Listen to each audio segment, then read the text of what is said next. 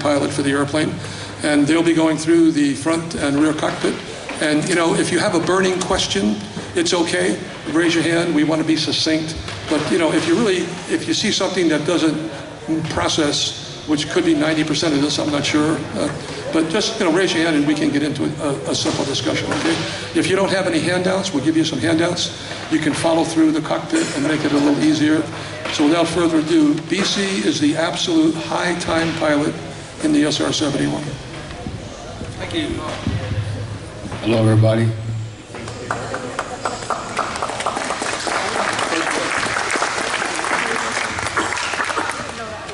Might hold your applause till the end because you may not like it. Uh, anyway, this is uh, SR-71. Uh, still the fastest airplane in the world and probably will be forever unless somebody really, really rich wants to build another one.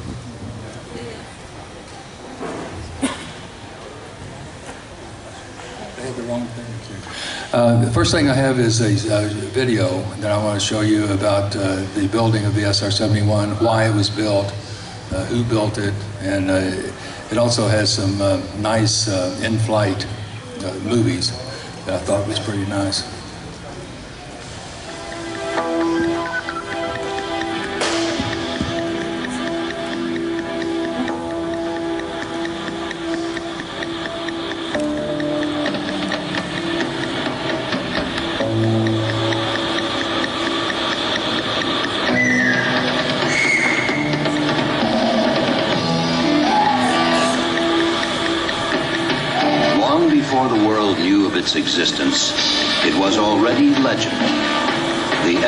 SR-71 Blackbird. It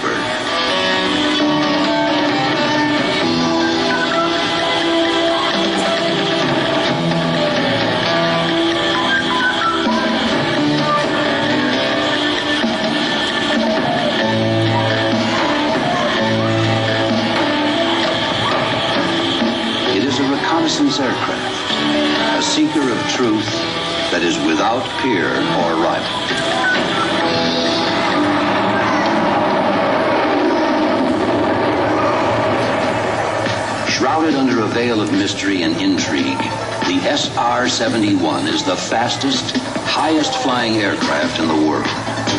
These blackbirds can literally outrace a bullet, cross the length of a football field in the blink of an eye, or pass from Washington, D.C to Los Angeles in under an hour. With its twin power plants, each developing more thrust, 71 evolved from a need, need to know.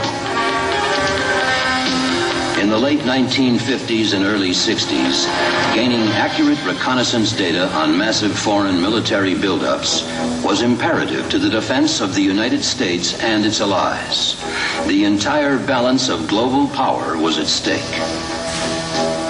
The problem was how to do it in the face of a mounting missile threat.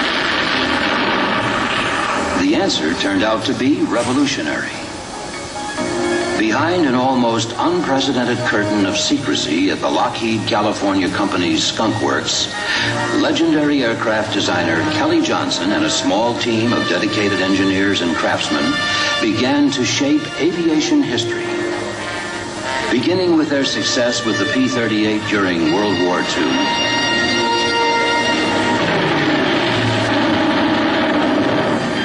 Followed by the F-80 Shooting Star, America's first production jet fighter in the mid-40s.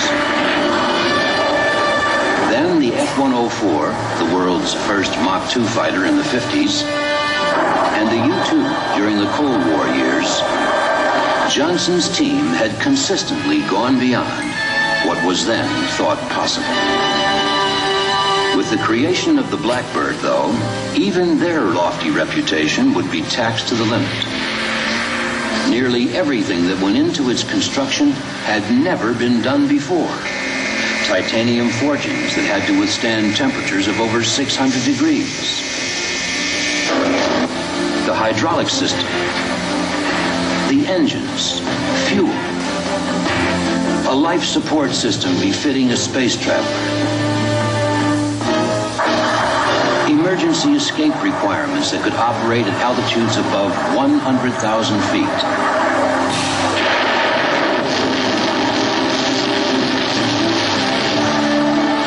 Then, not copied or borrowed from something previously done. Of equal significance to the creation of the aircraft itself is the fact that the entire accomplishment was conducted in just 22 months. Unprecedented then, unimaginable today. As the initial Blackbird went through final assembly at a remote test site, its existence was still only known to a few select people.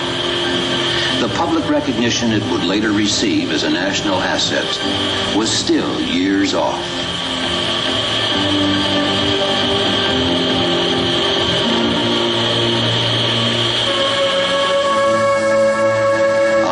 26, 1962, Blackbird number one successfully completed its first flight.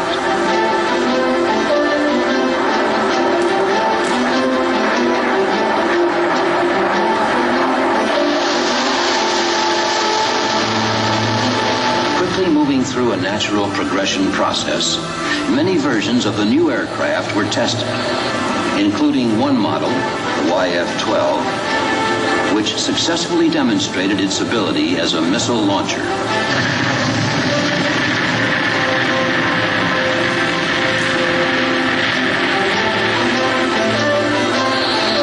Soon, though, national security brought its brief evolution to what we have today.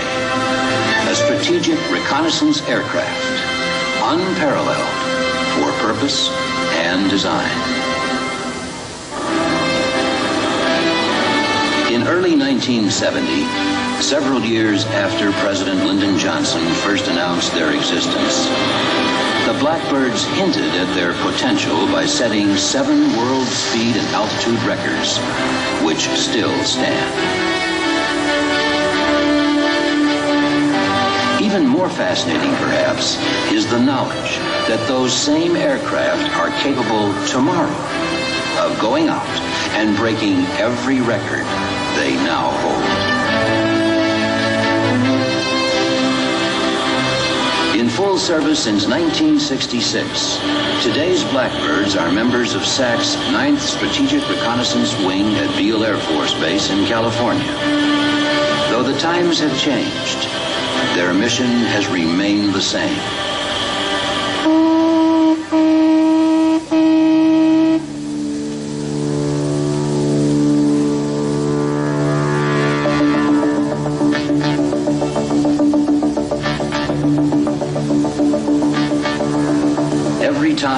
SR-71 flies, it is an operation that involves many highly skilled people. Yet, the successful execution of a flight comes down to just two men. The reconnaissance systems officer who monitors the SR-71's vast array of advanced mission equipment, and the pilot who guides its course. They belong to an elite fraternity open to only a select few.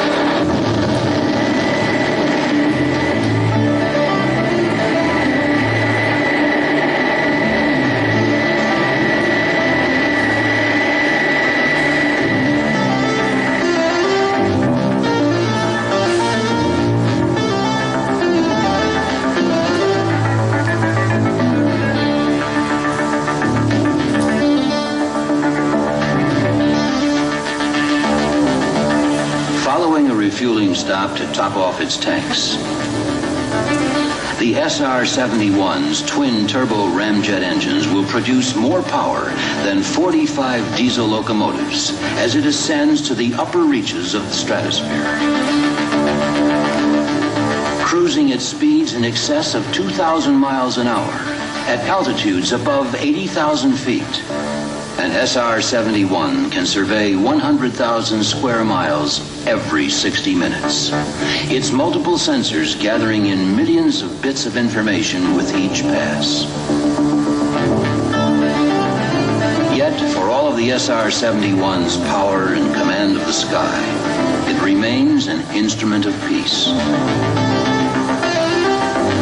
It sorts the difference between what others say and what they do. And because its missions are still highly classified, the SR also remains today, over 20 years after its birth, a complete enigma, a mystery, and what many believe is the finest aircraft ever built.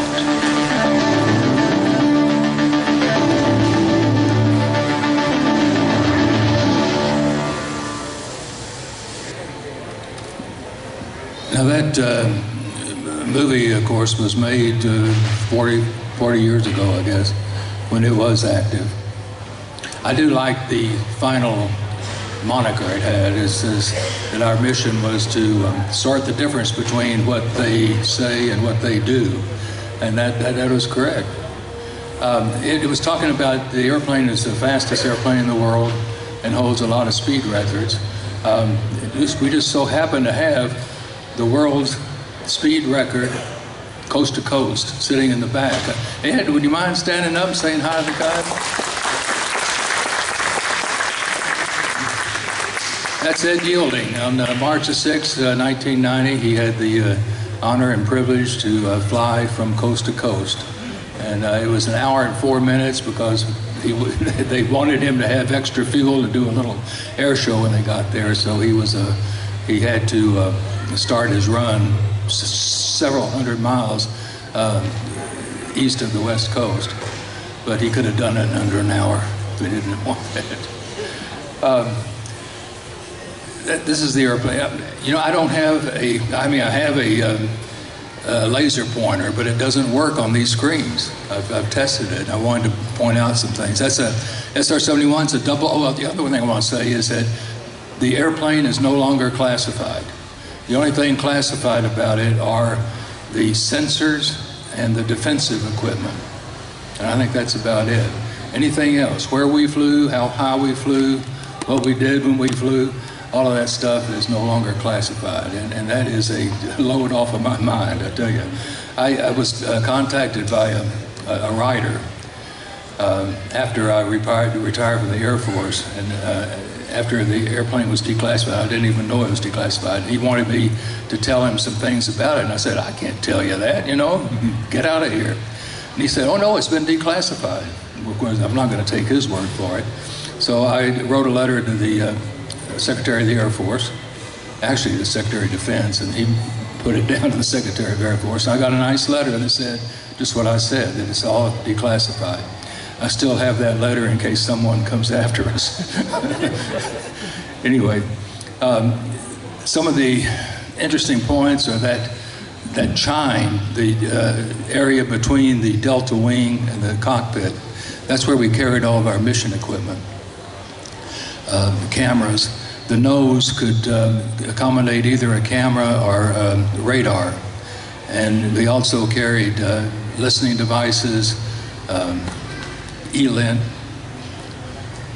electromagnetic, anyway, the stuff that uh, when we we would sometimes go 90 degrees to the Soviet Union, make a turn, and skim their international uh, border by about half a mile. And all that time, they were they were bristling with uh, electronic data that, that we uh, we covered. Um, here, there's a fine uh, fine duo there. That's myself and JT Vida. JT Vida was uh, RSO. He was my last boss. He's the man who has the most hours in the airplane. He has about 300 more hours than I have, and um, he was an excellent guy. He was my last boss, RSO, the first RSO who uh, was not a test pilot and was not a pilot uh, to be the uh, chief of flight test. So he was a remarkable man. Unfortunately, he, uh, he, he died about three years after that, that uh, picture. These are the areas that we covered, and I don't like to say that we flew any mission uh, routinely. You know, you always say he was on a routine mission. None of our missions were routine, I guarantee you. But that's the areas where uh, we, we, we divided the world into thirds. We flew out of California, uh, which we would handle uh, Cuba, uh, Central America, uh, out of Okinawa, where we would handle um, Vietnam and North Korea and China, and then uh, also Mildenhall in England, where we would operate around the Soviet Union, Murmansk, and the Baltic Sea. That were our primary missions. We also flew missions in the uh, far the, the Middle East. Here's a uh, kind of a nice little um, chart about the speed. Uh, Mach 3.2, and our, our maximum Mach was 3.3, so we could go even faster than that, was uh, 2,211 miles per hour. And uh, you see what the uh, comparisons are. We actually were, honest to goodness, faster than the muzzle velocity of a deer rifle. Uh, the only difference between the muzzle velocity of a deer rifle and us is that we didn't stop. We kept that same, that same uh, speed for about an hour or so. Uh, I um, was kind of a, I, I was an aerodynamic guy, self-taught, and I, I, knew that when you fly airplanes fast, uh, it generates heat. I did not realize how much heat it generated when you go Mach 3. This, uh, I would use a pointer, but this uh, chart, I was particularly interested when I came into the SR-71 program about what the heat uh, three feet in front of my, my face was. And that is uh, right up there, 622 degrees. Uh, your uh, maximum heat on your oven is about 550, cleaning cycle about 600 or so. And uh, so we were flying hour after hour with something three feet in front of our face that was as hot as your uh, oven on a cleaning cycle. If you can imagine flying an airplane in an oven, and that's what it was like. Uh, there was uh, so much technology that had to go into that airplane. It's just unimaginable to keep things cool.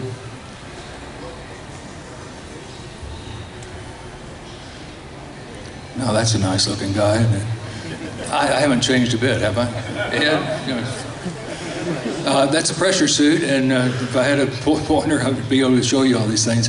We had uh, two independent oxygen systems you see on the helmet, because up at uh, 80,000 feet, you can't come down quickly. So uh, to us, fuel was less important than oxygen, pressurization, and um, uh, cool air. We had two independent um, air conditioning systems. We called them packs, and they, they would make the cockpit 70 degrees, very, very uh, comfortable. There was one time on a mission, I lost one pack, and so I had the other one. I put it to full cold, and uh, I was not in a, in a position to come down, um, and so I had to fly for about 40 minutes or so uh, at Mach 3 with only one air conditioning pack. The, temperature in the cockpit did not get to 160, but it was about 130 or so. It got so hot that the uh, control stick was, was hot to touch. So that's, that's what heat can do to you. And um, if you lost both air conditioning systems, you could come down quickly enough that you wouldn't bake because the, uh, the heat rise is a function of the square of the uh, Mach number, or the square of the velocity. So if you uh, decrease your, uh, your velocity by half, go to Mach 1.5, you decrease your temperature by a factor of four. Um, this is kind of interesting, this little thing here. There was that on that sleeve and on the other sleeve, and those were checklists to do if you have to bail out of the airplane. So if you're at 80,000 feet, Mach 3, you could bail out.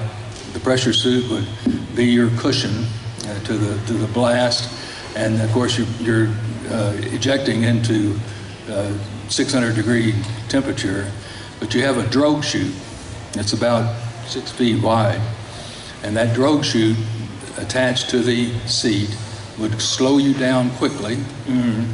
and also uh, tilt the ejection seat so you would have a nice view of the of the earth as you fall down. Well, this would give you something to do, to, run that checklist. Otherwise, you might panic or something. No, you know, I have something to do. I'll just, you know, make, make sure that the uh, kid is out and everything. Uh, you all have heard about the uh, leaking on the airplane. That's what it looks like when you go out to uh, fly, usually. If you had the fuel tanks pressurized, as they did sometimes, they, that would uh, exacerbate the, the leak. They say that it um, would uh, close the leaks after we got up to uh, altitude. I don't know because we couldn't see any fuel going out through our periscope. But we carried 80,000 pounds of fuel, and if you lost 1,000 pounds, it's kind of lost in the noise. Uh, we start the engines with a, um, usually with a Buick, two Buick Wildcat engines in tandem with a uh, sprocket or a, a it would actually mechanically turn the engine. The reason you need that is that the oil and hydraulic fluids in the engine are so uh, viscous that uh, it's very hard to turn the engine. Uh, the tires were kind of neat in that they were uh, about 600 ps, no, 460 psi. Uh, we had six of them. They were uh, very hard tires. if you had an airplane this heavy, you'd want nice balloon tires, but there was no room to put balloon tires in the fuselage. It, when you um, retract the gear, they go into their own little shelf, which is um, air conditioned, so the tires don't uh, get too hot. Uh, one thing about the tires is that since the pressure in the tires are so heavy or so high, uh, if you roll, run, run over a, a rock or something uh, on the runway, uh, it doesn't give, it cuts the tire. So we were very, very careful to make sure that uh, as we taxi, we had somebody in front of us checking for um, what we call for, foreign object damage. That's what the cockpit looks like in the front. Uh, let's put that in there to uh, show you that we had, we didn't have a lot of room, but we had enough room. And um, I, um, as myself, my preference is to fly an airplane with a tight cockpit, to kind of the old thing about uh, makes me feel one with the aircraft. Um, the, the way you get in, I would get in the seat, put my arms up on the rail, and you had two guys that would be strapping us in with all those connections and everything.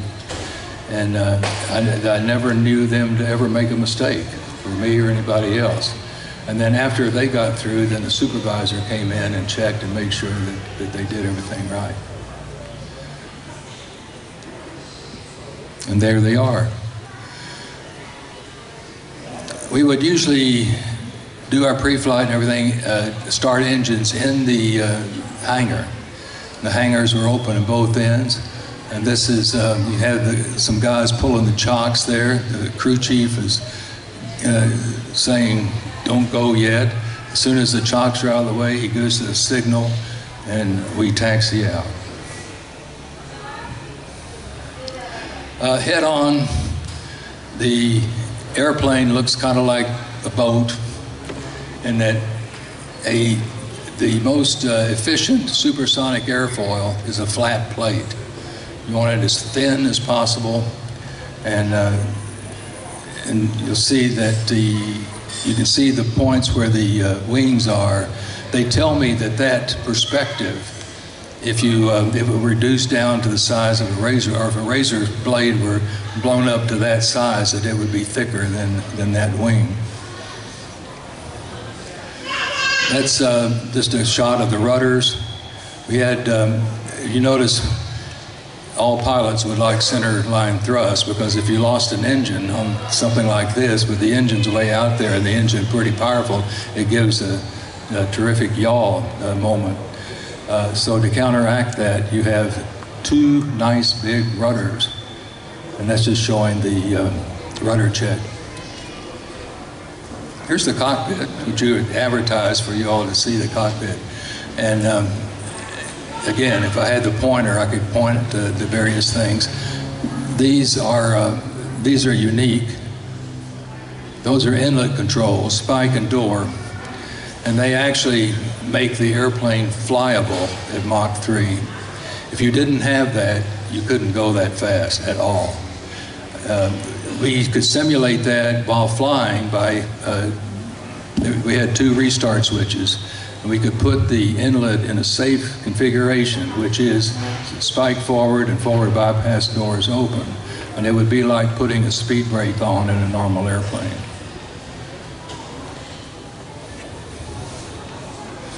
Um, the attitude indicator is that big instrument there. On top is another attitude indicator almost as big. Uh, we had them that size because uh, attitude control was so important. They wanted us to fly, when this was put in, uh, night, missions, night, night missions more. So flying at night, look at it this way. If you're in a moonless night over the ocean, you're looking at black and, and nothing else. If you are over a, a populated area, then the stars look like ground lights. So it's very hard for the pilot to discern for sure where the horizon is. Now, why do you want to know where the horizon is? Because one degree of pitch at Mach 3 will give you 3,000 foot per minute rate of climb or descent. One degree ain't much. so it was very important to keep the attitude going. We had those two attitude indicators. Then uh, the big one, we could uh, select uh, two different sources for the uh, attitude indicator. We always flew in the ANS uh, section because that was the most uh, precise. the other one was an I, I, I, ILS or IRS. The um, then we had, in addition to that, over on the right side, we, we can't see it, but it's behind the, the right console there, was a peripheral display, uh, a, a PVD, visual, peripheral vision display, which would project a laser beam across the instrument panel. And that would uh, emulate and mimic the horizon. So if you were at night and you happen to be looking someplace else and you see this light going, that would be an immediate uh, cue to start checking your attitude. We did have an airplane that was lost due to uh, uh, this before all of these uh, uh, niceties were put in. When the uh, engine, when the airplane was first developed, they had the standby attitude indicator down to the left. You could still, you could see it, but it wasn't so prominent anyway, a little bit of attention, of inattention, could uh, could get you in trouble in a big hurry because the airplane, when it's full of fuel or even close to full, it's uh, the airplane uh, is 107 feet long, so about 80 feet of that is fuel tank and it's full, and it weighs 80,000 pounds. And when you go into a turn or you pull G on the airplane, um, it's like taking the center of gravity of the airplane and, and raising it. The more you pull, the faster you would raise that. And that would tend to have both sides of this moment arm, the uh, fuel tanks, bend down. And, uh, and uh, so we were limited to 1.5 Gs, and we were supersonic. And that is not much. That's a 45 degree bank turn at most. we usually didn't uh, plan to fly more than 35 degrees of bank. That's a annunciator panel that has both caution and warning lights, and there's uh, 48 of those uh, modules. Uh, if one of them uh, lit up, it also uh, a uh, master warning would appear on the top of the instrument panel. The yellow were caution, and the red were emergency. for most of the red conditions, we would have a checklist, uh, though we had a checklist for everything, but uh, we would have to memorize uh, steps and then call for the checklist. Uh, that would be a critical item. That's what the engine looks like compared to a guy. It's about, um, here's what it looks like on the test stand. And that orange right there in the middle, that yellow in the middle, that's That's the uh, burner can, and it, it really looks hot. So that's the way it flew, you know, for an hour, hour and a half. Uh, this kind of shows, I like this because it shows um, it's an airplane on takeoff. And most of the pictures you see of the SR-71 taking off, you can't really see the afterburner plume because it's daylight. Well, this was taken at night. Uh, it's Palmdale in the background. Uh, after we take off, uh, we uh, always climb an afterburner generally. There's a good uh, look at uh, the kind of angles that we could climb at low. We'd be looking for a tanker, and look, here's another tanker. This is a short video. It's a three-minute video. It's um, myself. I'm the SR-71 pilot. I didn't know at the time that I was being filmed, and um, the boom operator is a friend of mine, and he he had a friend with him, and they were taking this picture. And he was also cued into the uh, intercom system. So you'll hear the radio. It starts off, he asks where I am, and I'm not on frequency or something, and he says, Aspen, my, call sign is Aspen 30, which is our training call sign. And he asks where I am, and I don't answer, and then pretty soon I do answer, and I say, Aspen 30, you're loud and clear. So that's, that's my voice.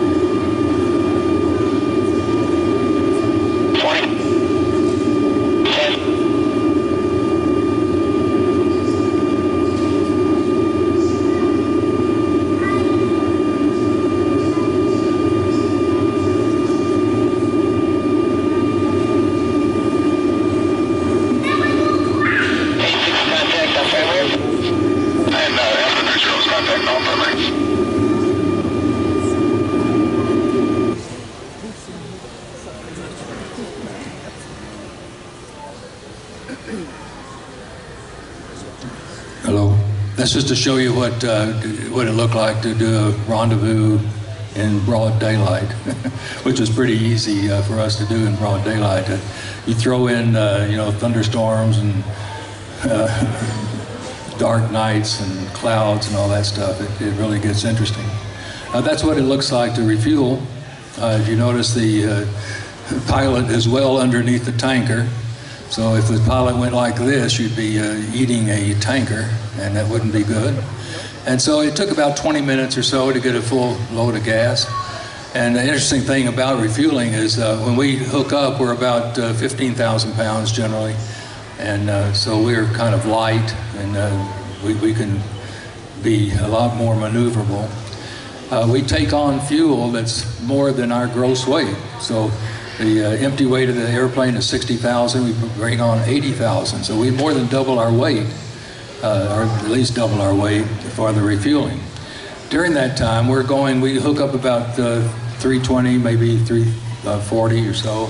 Um, then uh, we start accelerating as the tanker burns, or as the tanker offloads his fuel, he can accelerate. uh, we'll end up with about 350 knots uh, going. But we are, as the SR-71, we're behind the power curve. And that, what that means is that to go slower, it takes more power. To go faster, it takes more power. Now you're in that area where if you if you reduce your your thrust and don't do anything, you're gonna you're gonna stall. Um, you never stall the SR-71. Um, so uh, we would have to we would be power limited oftentimes. And my technique was as soon as I felt that I was hitting the military uh, stop, which is 100% uh, RPM with no afterburner, uh, then I would tell the boom operator I'm going to light the left afterburner. We light the left afterburner because the left window is the only one that's de-iced in case you're in icing conditions. So I just made it a habit to do that always. So I say, boom, I'm uh, lighting the left afterburner, put that up there, go one potato, two potato, three potato, and then take the other throttle and move it that far, that far. And uh, then you, you, would stay there perfectly. It worked. It was great. Rich Graham told me about that. That's what it looks like uh, on the boom or uh, leaving the uh, tanker. How do I know? Because that center is the uh, fuel uh, vent from we always got full tanks, and so when you fill it with full tanks, there's always a little bit of slop that goes into the vent. That is a picture of a, a pilot that uh, I had that. This is a selfie, incidentally, not because of myself, but I, I thought it was interesting to see we're about 80,000 feet, and you can the reflection in the visor uh, tells you what I am looking at. It's the blackness of space, and uh, I'm about, as I say, at 80,000 feet. That white is uh, just a cloud cover. And this was over Arizona at the time. I remember, remember that. Uh-oh. Here's, uh, this is a wide angle lens. I, I, got a wide angle lens because you see a lot of pictures taken from the SR-71 with a 50 millimeter lens. This is a 25 millimeter lens. That, um, those uh, windows there are about that far away from me, although it looks a lot farther. Uh, I'm in a right bank. This is over the, about the same time I took that other picture. It's over Arizona, uh, about 2 o'clock in the afternoon, as I recall. Uh, that exas exaggerates the uh, curve of the uh, Earth. the curve of the Earth is not that way with a normal camera. But up there, the bright speck up there is the sun. And we're, uh, we're above 96% or so of the Earth's atmosphere. There's very little air up there. And so wherever the sun is, it's extremely bright because the sun isn't filtered through the air. And in addition to that, where the sun isn't, there's not enough light to diffuse um, uh, to the uh, light. So it's black. So you're looking at the blackness of space, they say. Very interesting.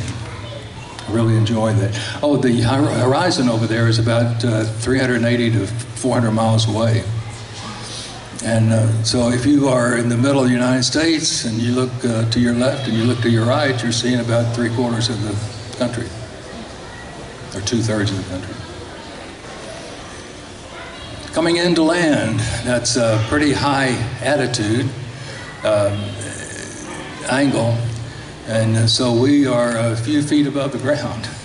and uh, judging exactly when you're going to touch down uh, took a little bit of practice, but uh, when we uh, checked out uh, initially, we got about five flights and then a check ride.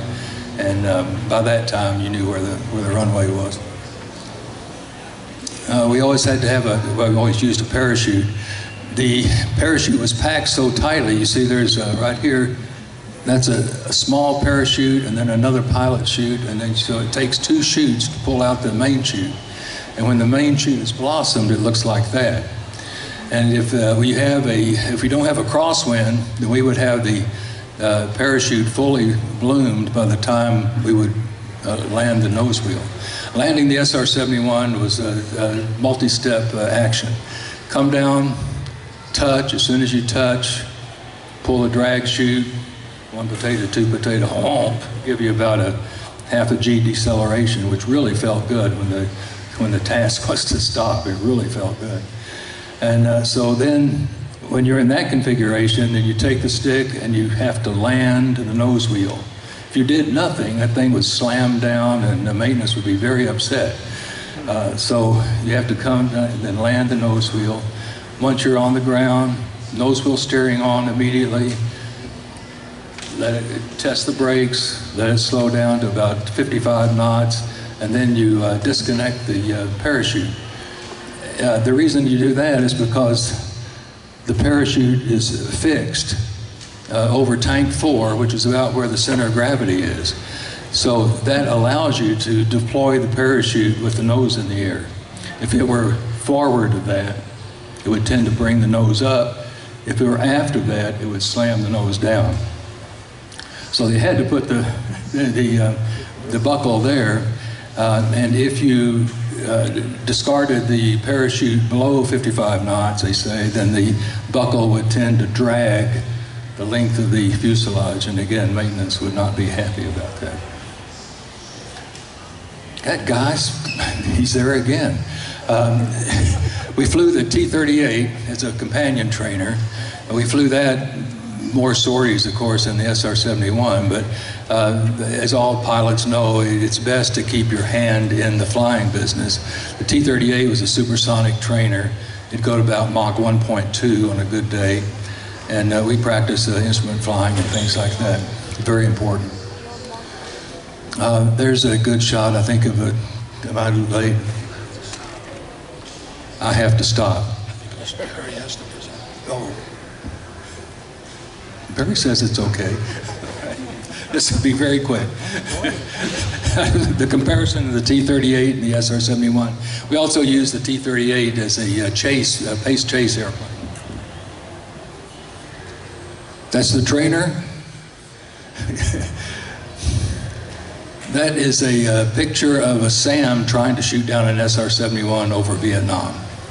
It's, uh, I had the pointer, I can show you that. You see the, the, the trail. That's, that was a surface-to-air missile that missed. Oh, that's where we flew, and thank you. Thanks, it's a pleasure talking to you.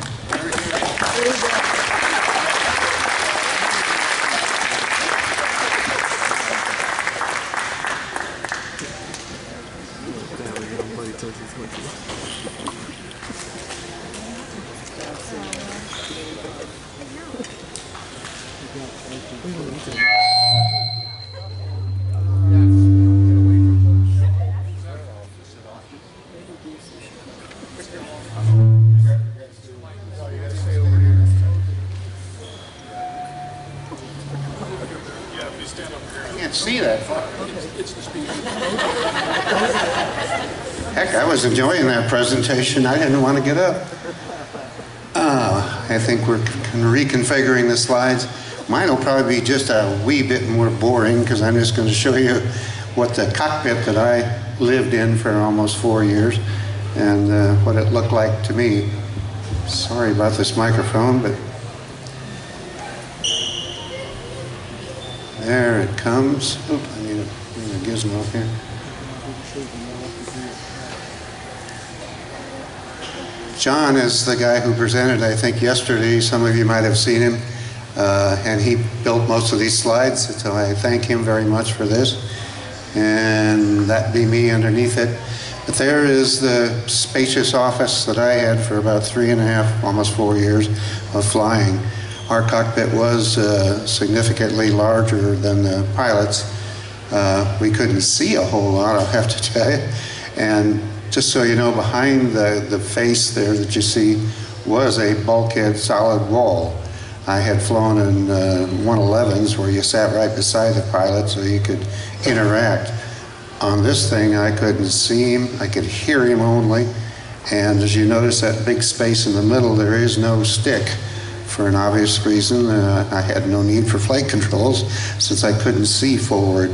So we did have spacious windows on the side, but when you're at 80,000 feet, it didn't make a whole lot of difference anyway. There wasn't a lot to see.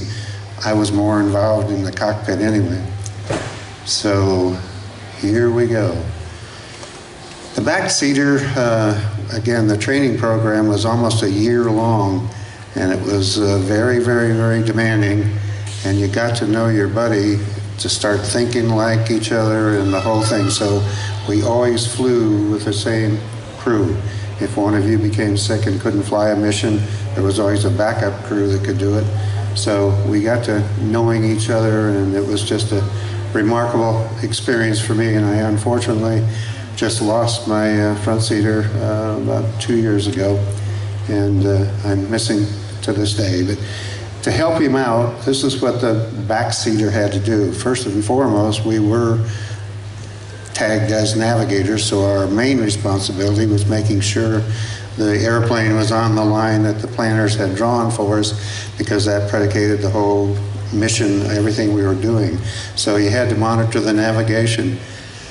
They called us as not navigators, they called us reconnaissance systems officers. So the next job was making sure all the reconnaissance instruments were supposed to doing what they were supposed to. We had cameras, we had uh, front and side, we had uh, radar systems. The radar systems were almost the quality of photos at the end. The early ones were truly blobology, but this one at the end was just a photo. Um, anyway, the, the monitoring that, and then we also had electronic intelligence collections um, systems that uh, picked up both audio and electronic and everything. So that's how we learned about some of the new missile systems that the Russians particularly were having and stuff. So it was a you were watching a lot of lot of goodies back there. And then if you got bored, your another major responsibility was as basically a co-pilot for the pilot with uh, running the checklists and particularly the emergency ones. I bless their hearts how those A-12 pilots, which was the predecessor to this for the CIA, was one pilot and how he could fly that bloody thing, do all of this, and particularly when he had an emergency, handle all of it. But uh, they did for a long time. But that was, again, one of the bigger things. As uh, BC said, that he would identify a, he would identify, say, a generator or something like that, and then you immediately go to the generator checklist and run it down for him, read for him, and it was a, a do command action. And if he didn't do something, well, then you command and ask for it. The uh, they were strapped on the pressure suit that he showed you, and uh, yeah, on on both thighs on the pressure suit was the Velcro and the checklist, and I think it was passed around a while ago. Uh, this big heavy thing that sits on your lap. You had a knee board for right-handed people on your right leg, and you could write stuff down. So it was a very comfortable. You felt you knew what was happening. Then another thing that was rather unique to the SR was the communications. From takeoff or taxi to takeoff uh, uh, all the way through the mission until you got back into the pattern where the pilot then knew what he wanted to do, he talked. But up to that point, the backseater did all the communications with the tower, ground control, air en route traffic control, the whole thing. So it was a, a good experience for us. And then uh, one of the last things was uh, monitoring all electronic countermeasures that we had to make sure. And uh, one of my classic missions that we had, we overflew Havana for the first time ever. and uh, the Cubans went crazy, and the back seat lit up like a, a pinball machine with everything indicating that they had launched. So we just push it up. We were already doing over Mach 3, and you just go a little bit faster, and the missiles don't have a chance. We don't know uh, to this day whether they really launched, but it was a pretty good indication that they were upset with us. In fact, uh, Castro made such a protest over it that President Reagan said, well, let's do that some more. So we did one a week.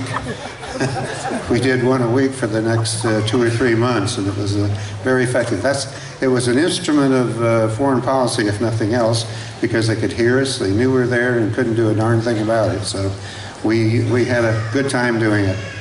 Uh, one of the guys uh, was here earlier, he's gone now, but he was uh, flying in, I think it was 85 or 80, 84, 85, doing that uh, demilitarized zone along the uh, North Korean, South Korean border. The North Koreans actually did launch. They saw it. They saw it explode. but they knew it was coming, made the maneuver that was required. And the kicker with a missile is that uh, the end game is the critical phase of that. And when you're, you're, it's a bullet flying through the sky, as he said. And to try and figure out where that sucker's going to be, all we got to do is make a little maneuver, and it just has to recompute all that. Well, the missile's already en route, and they just can't give enough command to do whatever we have done. So uh, it went off in the distance. They did see it, but that's the only one other than down in Hanoi. Those guys, uh, early ones in the 70s during the war down there, they did get shot at a lot, but again, nothing effective. There was something like 400, I guess, were launched at them, but nothing ever came close. So anyway, that was one of the last uh, features that we were supposed to do. I'll run through this fairly quickly for you, so not to bore you to death, but the, the critical things were obviously on the front cockpit uh, for, for flight. Uh, we had a lot of stuff on the side. This was some of our defensive gear and communication on that side. On the right side was mainly the navigation and all the sensors that we had. So it was uh, designed well for us. I think some of the planes in the past have had some issues, but this one, they thought through the process for us. Just a real quickie, this is, uh, I said I couldn't see forward, but I actually had what they call a view sight. And this is an electronic one. When I was flying, we just had a big chunk of glass, which happened to be a, uh, like a periscope, magnified so I could blow up the ground and everything. And it was actually, I had a better view than the pilot had because I could see all the way forward, all the way around the airplane, and with good fidelity, quite honestly. For some reason, uh, some years after I quit flying, they put in this electronic, and it was basically a high fidelity camera with uh, magnification on it and everything. But it, uh, our manual thing worked just just as well, I thought. The uh, the next thing is that screen in the middle. Actually, it's stuck to Velcro right there, and it comes back down and lays down in your lap uh, at about a 45 degree angle. And then the camera projector is down at the bottom. What the mission planners would do is they drew up the route and everything and had all these maps for us, but they just put it on 35 millimeter film and it would just progress along. I think there's a control somewhere, but anyway, it would just drag along and we could follow the whole mission on the map looking down at it without having a cockpit full of uh, charts and stuff floating around and it had all your action points, all your emergency airfields and everything. So it was very convenient. And the pilot had a smaller version, but it had the same thing up front. Where we jumped there. Um, just want to show you, probably, well, it'll come up later with a better picture. This was the, if I could read it there. That was the old map projector that he's talking about. Now, the one in the middle is actually the radar uh, screen that showed what the the radar system was imaging on the ground. And like I said, it was, this was a new one for after I got out of the airplane, but the, this one was as good as, uh, like I said, a photo. It was just incredible quality.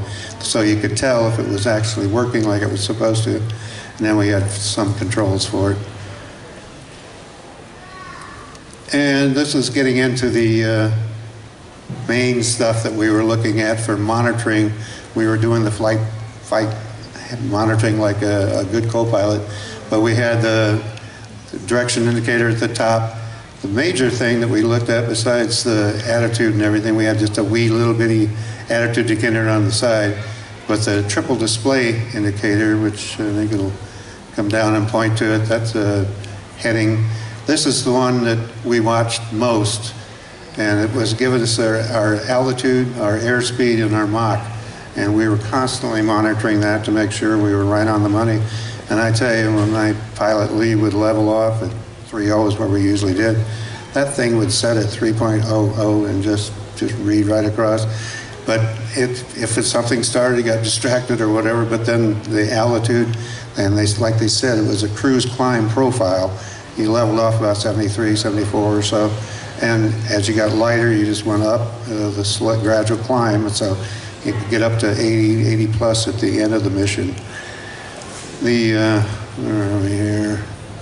Oh, the other major thing that was going on was monitoring the fuel, not only the onload of the uh, tanker fuel, but also monitoring the center of gravity of the airplane knowing all the parameters. And we had six tanks, and we had a CG indicator that we monitored, but occasionally, and we learned this in the simulator, it would lock up and you wouldn't know it. and all of a sudden your CG is crypting way aft and you just pitch up and lose it.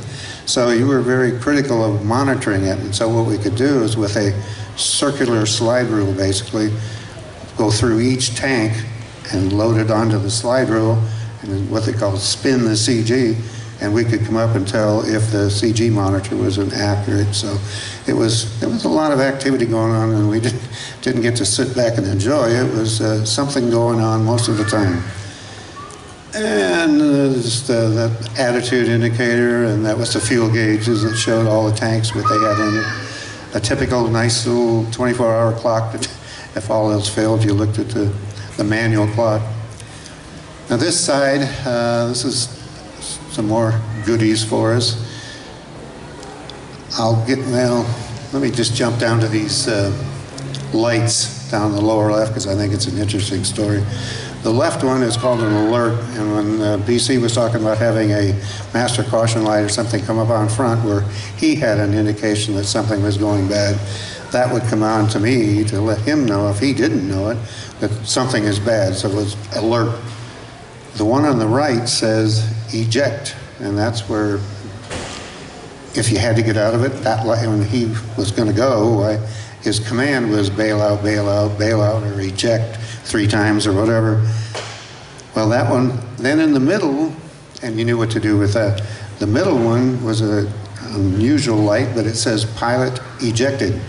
So there, I only know of one situation where this happened, and we went from 1971 to 1989, 18 whatever that year is years without having a crash.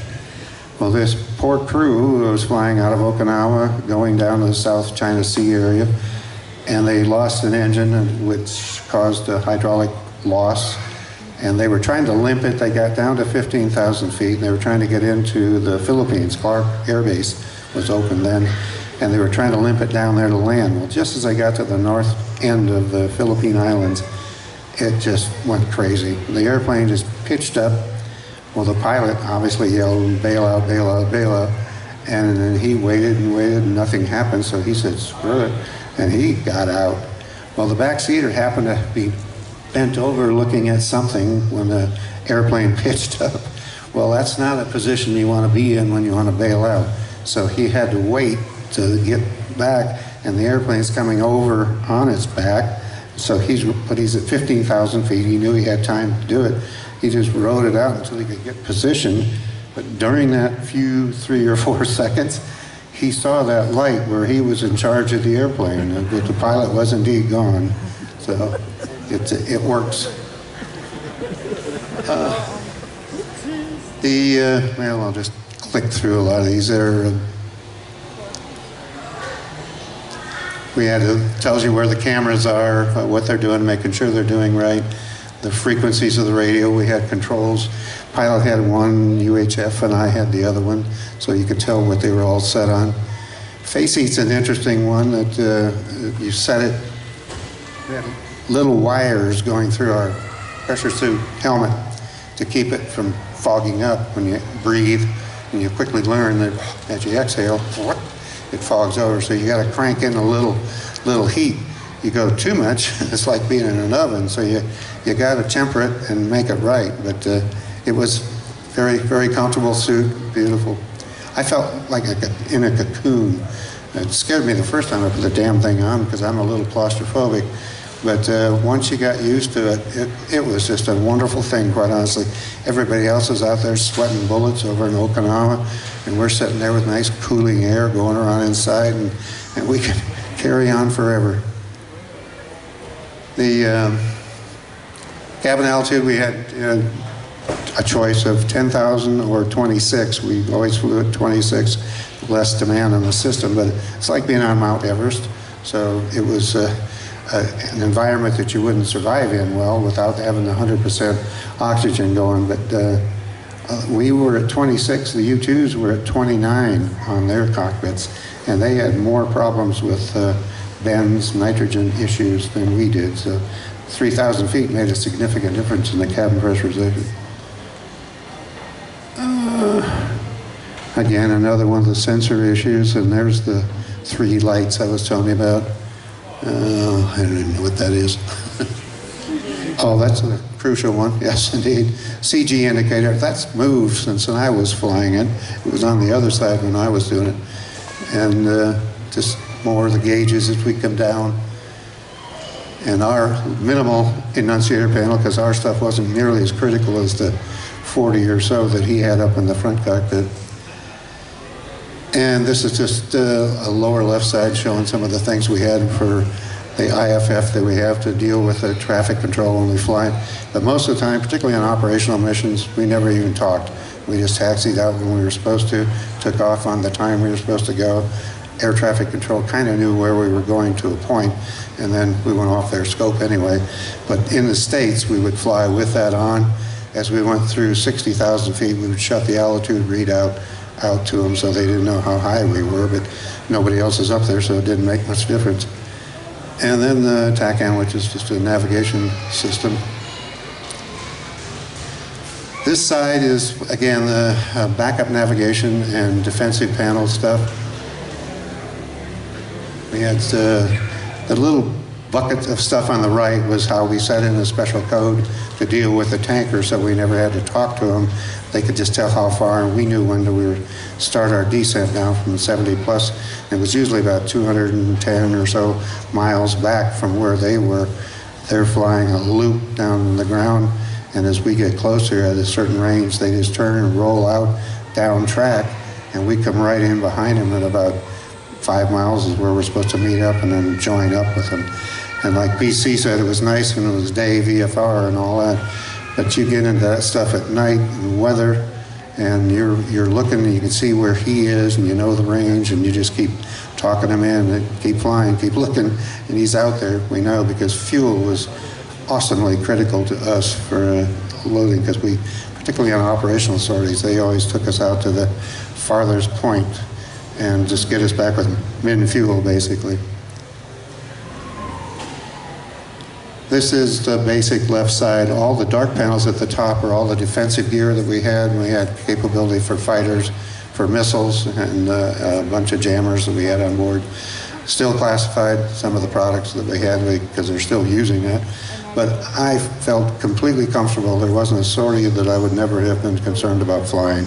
I think this thing was just in, invincible. Uh, and not only with the speed and altitude, but the sensors that we had on board were just incredibly good for disturbing those things. We had, uh, like I said, a, a, UHF radio in the front for the pilot, one in the back for me. I had a high frequency radio. I think the pilot at the end, after I got out of the program, had a VHF radio as well. So we had plenty of comm to work with and to get going. Uh, all the controls, though, you had to set them and you had to talk to each other what you had going. Uh, the nav panel in the middle with a bunch of buttons on it, that was an afterthought from when I was flying. We didn't have a backup nav system like that. They threw in this inertial nav system, came out of a fighter, I think, somewhere, as just a means to, to get somewhere. But I had over almost 500 hours in the airplane, never had an issue with the nav system, and I'll talk to you about that a little bit here. But I'll go through these things just to, that was to blow the canopy if you had an issue, the ejection system didn't work. And the few, few times that it was demand, demanded to work, it did. The guys always, we never lost an Air Force crew member. We had a few crashes after when they were early on in the program, but then we, like I said, we went from 71 to 89, 18 bloody years without a crash. So it was a good, good system and well worth it. That's the navigation, there's the radio controls and lighting and stuff. Now this is where the heart of the navigation system was on this side. That big thing at the way at the top was just a, a control for all the radar sensors and cameras. But the big box about a third of the way down with all the big placards on it, that was the navigation system. And the reason they were big was we we're wearing these bulky gloves and you you couldn't dial like on an iPhone. You couldn't couldn't hit with the finesse of that. The gloves were very tactile though. Uh, You had good feeling in them and sensation, but they were just bulky. So that was the reason for the big big buttons on that. So and you could find it. And I'll get to the accuracy here shortly, but the controls on this thing were were just amazing how accurate it was. And these are, again, more of the sensor controls that we had for uh, monitoring things. Only had a few circuit breakers. Uh, the interesting thing on that for we even had an issue trying to see him, but the pilot was really difficult, and he had circuit breakers on both sides of the cockpit. And part of the emergency procedure on some of them would be pull and reset a circuit breaker. Well, they're difficult to see, so what you tell the guy is it's on the left side, third row back, up two. And he would just feel because he couldn't really see a lot of it. And then he'd go, oh, Jesus. And he would pull it and he hope he got the right one or whatever and see what happened. And uh, it worked in the simulator. Unfortunately, we never had to do it in flight. So it was the simulator was a good training tool. So that simulator would just wear our bodies out. I tell you, the stuff that they did to us, and they almost always concluded with ejecting because you couldn't fix it anymore. But the beauty of the thing was they showed you every emergency that had ever happened in the airplane. So there was no surprises when he got out and flew, other than it flew damn well and it wasn't a problem. So, but there was there was never a surprise that somebody, oh, I've never seen that. It was you had seen it all. But those circuit breakers, I always marveled at how they came up with that concept. This is the navigation system that we have. It's called, we jokingly call it the R2D2. It's uh, the little box down the left is about four foot by four foot by four foot, and they would come out with a hoist and just raise it up and go in, and it fit in a can. Uh, see if I can show it to you here. Well, it's already circled that little thing with the globe on it. That's right behind the back seat. Seat, and uh, that thing would come down and have that glassy thing you see is actually quartz uh, because of the heat. Had a telescope that would look up tracking stars. And as soon as you pulled out of the hangar, you would go to nav on it basically, and it would, and they'd already had been aligning the system for probably an hour and a half or so before, so they knew exactly where the aircraft was, and it would just get it all nice and tight. And as you taxied out, you put that on to nav, and it would start tracking stars in the daytime as long as there was no clouds up there. In California, there was generally no clouds, so we would taxi out and get a green light that it was locked on in less than 30 seconds. The accuracy was bloody phenomenal for something that old. It was like 300 feet is what they guaranteed that. And like I said, I had almost 500 hours in the airplane. I never once messed with that thing. It was so good. We tracked it, we monitored it, we made sure it was where it was supposed to be, but it was a hell of a lot more accurate than anything I could have done to make it better. So I never messed with it. It never failed. It just, it was incredibly accurate. Taxi back in, you're within 300 feet of where you started.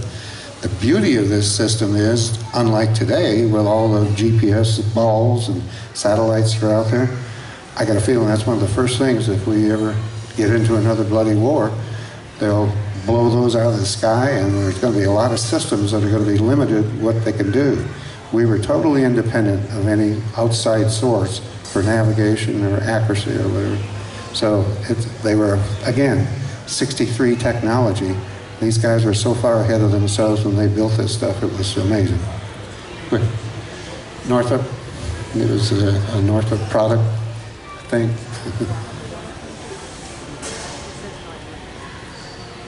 Ah, I guess that might have been it. There again, it was an overview of a nice view and uh, comfort zone. But thank you very much for your time. I appreciate it. And if you got any questions? All right. Jerry? Oops. Okay. For, what do we do for food? Generally, we didn't fly long enough to be a requirement, but uh, we did have the capability. Uh, U-2s did it, but most of the time. But we had a, I flew a 10-hour, 10 and a half hour mission out of California one time. I took a couple of, they call it uh, tube food, It's like a big tube of toothpaste, but it was, uh, it, mine had applesauce. Some you can have uh, stew, you can have it in there. What you do is stick it through, there's a port on the side of the helmet that you stick this probe through, and then you suck the stuff out of there or squeeze it, and you get it into your mouth. I didn't need it, quite honestly, in the flight, but I, what I used that mostly for was to itch my nose. I carried two bottles of Gatorade with me, frozen, and you put them in the little containers on the side. Well, because it was 500, 600 degrees in and around the cockpit area, that stuff melted real quick in the, in the container. It didn't melt the plastic, but it melted the ice that was in there, so I would slurp down a couple of Gatorades during flight just for the nutrients and all. But It was, uh, yes, sir. From cruise altitude and cruise speed, how long did it, how long of a time did it take to descend where you could refuel at a tanker? I would say 10 to 15 minutes. We'd start about 200, 210 back from the tanker, and just a nice gradual descent. And the air traffic controllers in the States knew what we were doing, so they wouldn't generally mess with us and try to make us hold, because once we started down, that was a fixed profile that we were going to fly. So it was probably 10 or 15 minutes before we rolled in behind him. Yeah. Overseas, we didn't care. We just, at that point, we went down and the tanker was waiting for us. Go ahead. Oh, you had to volunteer, and there was probably, know, 50 or so applicants a year. We'd only lose maybe one or two positions, so it was a difficult spot. They would, we would weed through a lot of the applications and then pick maybe three or four or five guys to come out, interview. It was like a week process. We had physicals and fly the airplane, uh, fly the T-38 for trainers and the simulator for the pilots. Backseater got to jump in the simulator and do that. And it was a, a very productive uh, process, I have to admit. I, some of the pairings on the cruise, I, I just still marvel at how well it worked out. It was like they were made for each other to start with, and it was just an incredible process. But it was very, very selective. I have to admit, I was very fortunate. Some guys didn't, particularly pilots, uh, had some resistance to do it because if they found something during a physical, it could possibly ground them. So they didn't want to risk doing it. But uh, the ones that we got were quite good. I'm sorry? At 2.30. Oh, all right. Go ahead. Yeah, a question about that refueling is, I was under the impression you had to be like radio science.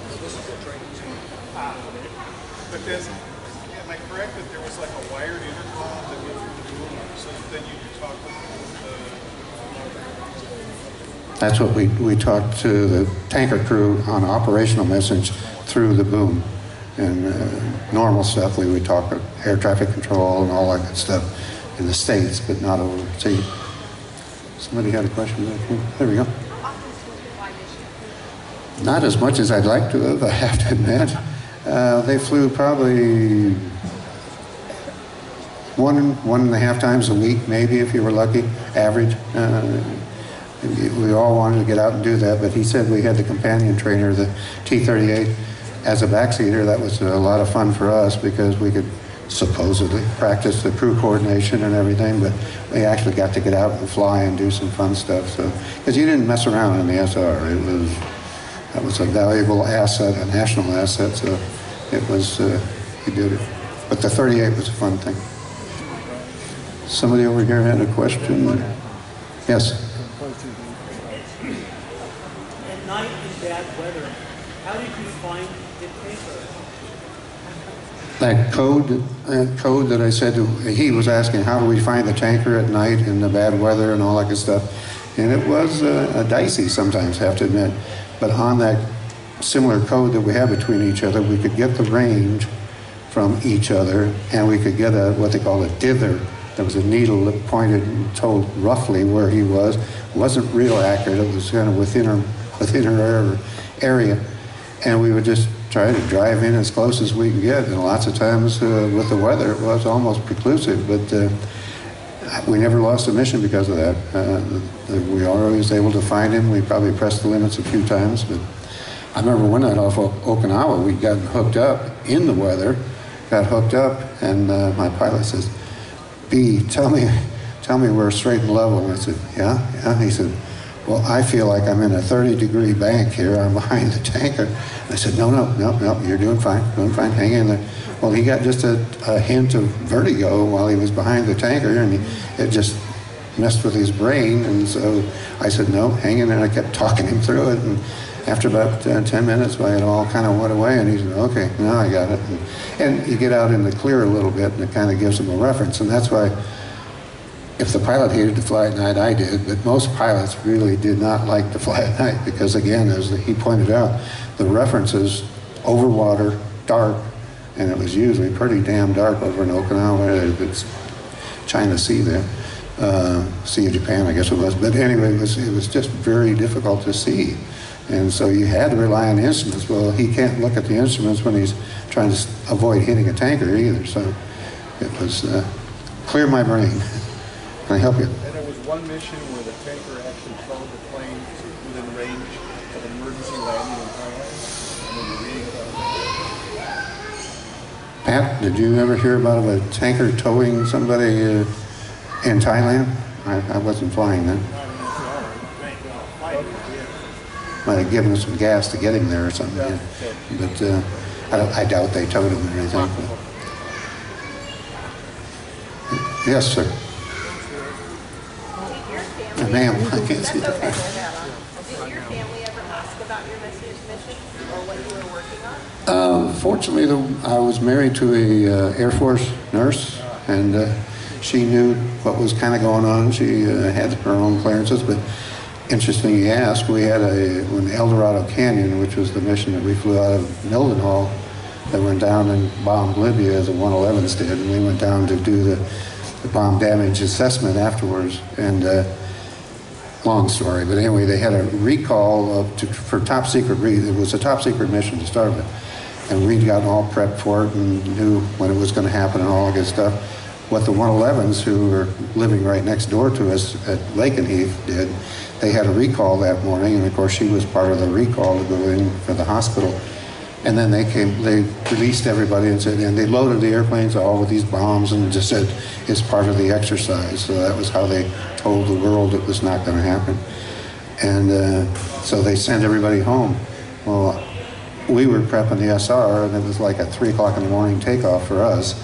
Uh, for the 111s, they left about 5 or 6 o'clock at night. And our home was right on Lakenheath, the base. Well, I got home to about that time, and all of a sudden, here's all these 111s just taking off in a stream with all loaded up with weapons. And she said, "What's that all about?" She said, "We just we just had a recall this morning." So she didn't know what it was, and that's when I probably broke broke secret protocol. But I I said, "Yeah, we're going to go kick Gaddafi's butt here shortly," and uh, they did. And we flew uh, three three straight missions down there to to monitor the area. So. I think I've been told to wrap it up. There's going to be another uh, panel in the other room for anything that maybe didn't get answered, but thank you very much for your time. I appreciate it.